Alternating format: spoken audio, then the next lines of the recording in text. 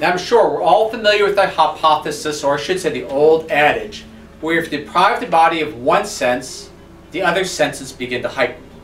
Well, in an article published in the Journal of Neurons, I should say this February 7, 2014, and it is titled, Simulated Blindness Can Revive Hearing Researchers Find. They want to see if this is actually true and put it to the test.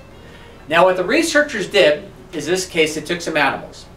And the animals and or mice deprived them of light and looked at the brain imagery to see if basically the certain areas of the brain responsible for auditory, um, or should say hearing, became enhanced or more connections were formed.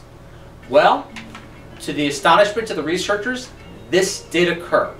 And to use their own words, they said, in my opinion, which is the researchers talking, quoting, the coolest aspect of our work is that the loss of one sense vision can augment the processing of the remaining sense, in this case, hearing. And the researcher's name was Lee. By temporarily preventing vision, we may be able to engage the adult brain to now change the circuit to better process sound, which they found in animals does happen.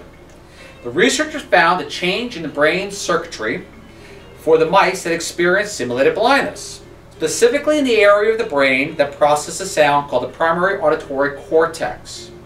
It says the primary auditory cortex allows conscious perception of pitch and loudness. The researcher concluded that a certain set of connectors in the primary sensory areas of the brain called the thalamocortical inputs, thalamocortical inputs, let me say it three times fast, are less flexible than humans later on in life. When it another sense is impaired, however, those connectors can be reactivated to support the sense that is lagging. So what they're basically trying to imply is this.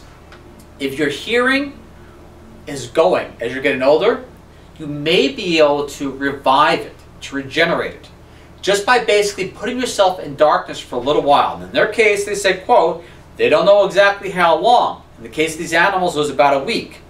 But through multisensory training or basically slight deprivation of light, you may be able to re-engage those senses. And henceforth, basically your brain becomes young again. These areas of the brain which were thought were cut off, no longer basically being able to be remodeled or remold, end up fixing themselves. So once we think something's a fixed unit, we think it's over. But in this case, depriving the body, or I should say the eyes of light, the auditory regions of the brain began to redevelop, to heighten those senses, so to say.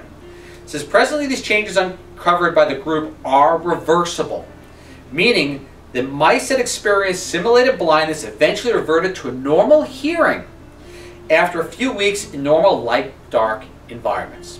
So, your hearing is going a little bit, something you may want to talk to a medical practitioner or a doctor, or maybe in your case, try on your own if you have the ability to put yourself in darkness for a while, cut the night light off, dim the lights a little bit, try to maybe walk around at night, and see maybe if that does make a difference in improving your hearing as the brain begins to rewire itself to heighten a different sense. Thank you.